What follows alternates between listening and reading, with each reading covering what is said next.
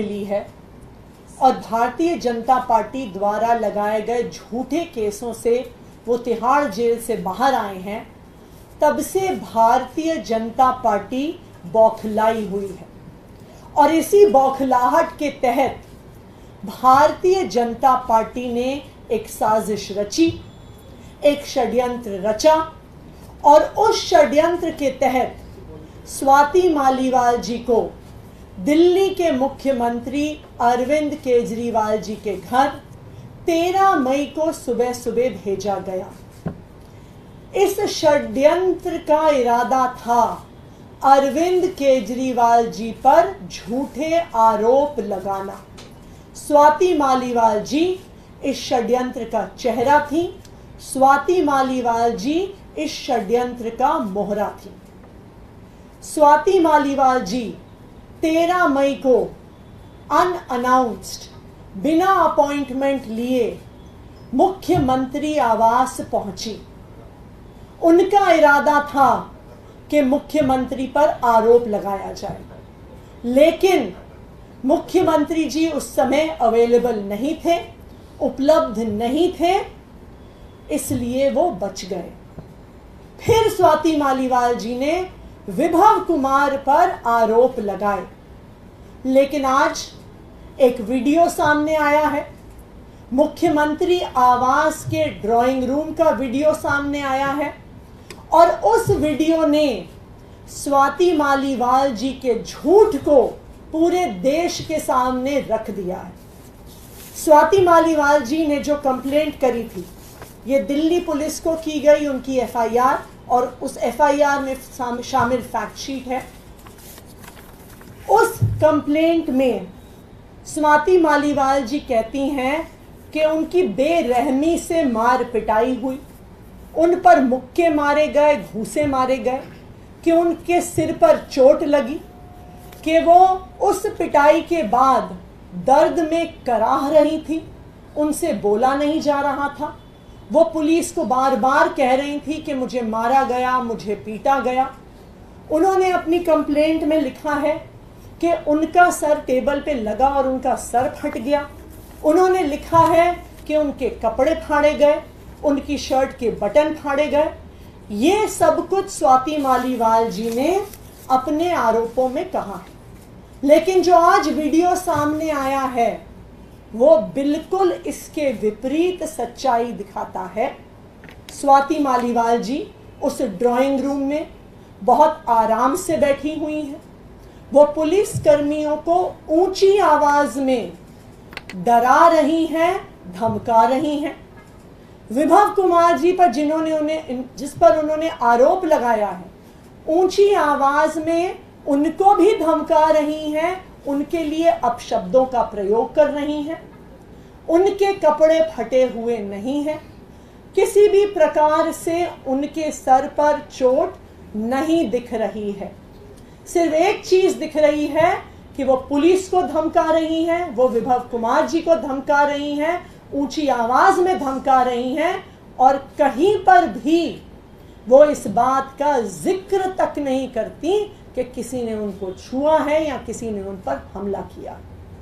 तो आज के इस वीडियो ने साफ़ साफ़ देश के सामने रख दिया है कि स्वाति मालीवाल जी द्वारा लगाए गए ये सारे आरोप बिल्कुल निराधार हैं बिल्कुल झूठे। हैं विभव कुमार जी ने आज दिल्ली पुलिस के, पा, के पास स्वाति मालीवाल जी के खिलाफ अपनी कंप्लेंट दर्ज की है।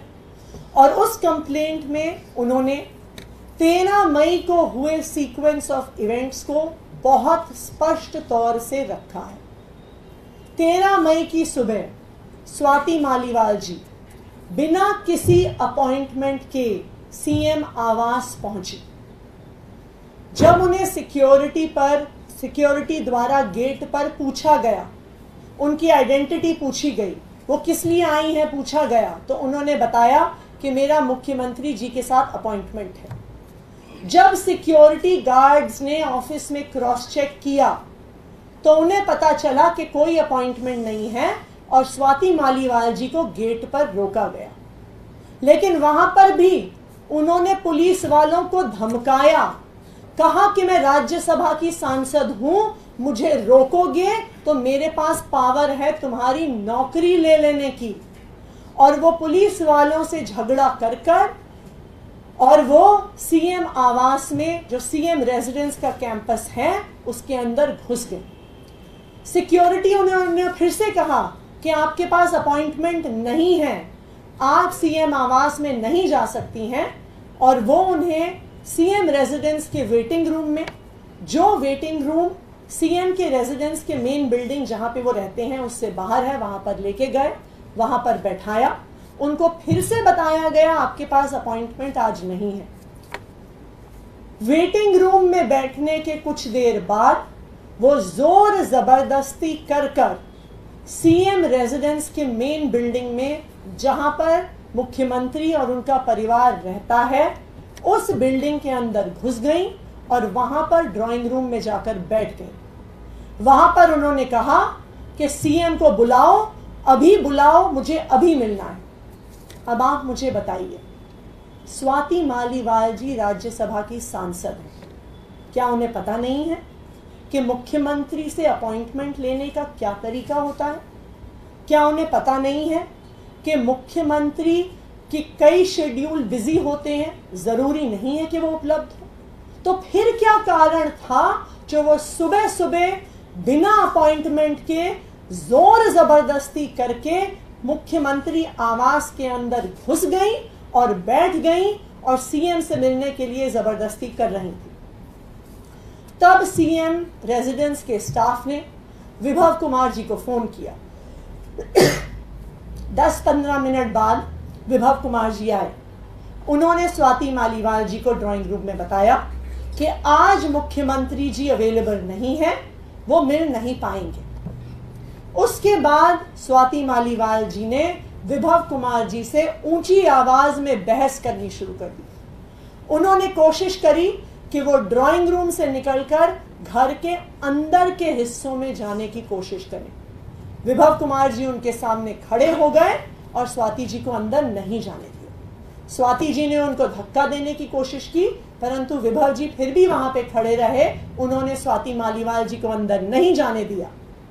फिर विभव कुमार जी बाहर आए और उन्होंने सीएम ऑफ़िस के सिक्योरिटी स्टाफ को बुलाया और उनको कहा कि वो स्वाति मालीवाल जी को बाहर एस्कॉर्ट करें। इस पूरे घटनाक्रम से एक चीज़ साबित होती है कि ये एक षड्यंत्र था। भारतीय जनता पार्टी द्वारा सोचा गया षड्यंत्र था। स्वाति मालीवाल जी को इस षड्यंत्र का चेहरा बनाया गया। मुख्यमंत्री जी को फंसाने का इरादा था। तभी सुबह सुबह ज़ोर ज़बरदस्ती से मुख्यमंत्री आवास में घुस के मुख्यमंत्री जी से मिलने की ज़बरदस्ती की जा रही थी। ये इस बात से भी साबित हो रहा है कि स्वाति मालीवाल जी मुख्यमंत्री आवास से पुलिस थाने गई। पुलिस ने उन्हें एमएलसी कराने को कहा। लेकिन उन्होंने एमएलसी कराने से मना कर दिया। फिर तीन दिन बाद भारतीय जनता पार्टी फिर से एक नए झूठ के साथ स्वाति मालीवाल जी को सामने लेकर आई। लेकिन यह पूरा प्रकरण आज जो वीडियो सामने आया है, जिस प्रकार से स्वाति मालीवाल जी पुलिस वालों को धमका रही हैं, विभव कुमार जी को धमका रही हैं जिस प्रकार से सोफे पर बैठी हुई हैं, जिस प्रकार से ये स्पष्ट है कि वो उनके साथ वीडियो देखकर साफ़ पता चल रहा है कि वो आराम से बैठी हुई हैं, ना दर्द में करा रही हैं, ना उनके कपड़े फटे हुए हैं, ना उनके सर पर चोट लगी हुई है। तो ये पूरा वीडियो स्वाति मालीवाल जी के झूठ को सामने लेकर आता है और भारतीय जनता पार्टी के षड्यंत्र को साफ़ कर देता है। आप कह रही हैं कि ये पूरा षड्यंत्र है और बीजेपी का षड्यंत्र है। तो भी हाल में जब ये पूरा मामला सामने आया था तो संजय सिंह जी ने ये क्यों कहा था कि अरविंद केजरीवाल और आम आदमी पार्टी विभव कुमार के खिलाफ एक्शन देखिए, जब संजय सिंह जी ने मीडिया में देखा कि स्वाति मालीवाल जी ने शिकायत करी है, वो पुलिस थाने गई, तब वो स्वाति मालीवाल जी से मिले। परंतु तब तक उनके सामने सिर्फ़ स्वाति मालीवाल जी का पक्ष था। लेकिन अब उनके सामने विभव कुमार जी का भी पक्ष आया है। और सबसे ज़रूरी बात, ये वीडियो सामने आया है जो साफ़ साफ़ दिखा रहा है कि जो सारी बातें इस शिकायत पत्र में कही गई, इस एफआईआर में कही गई, वो बिल्कुल झूठ है, वो ये वीडियो दिखा रहा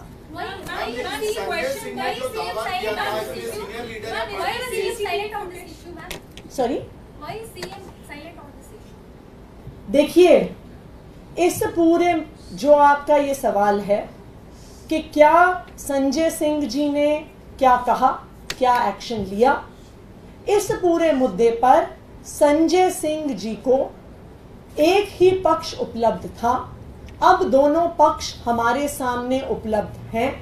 ये वीडियो ना सिर्फ़ हमारे सामने, बल्कि पूरे देश के सामने।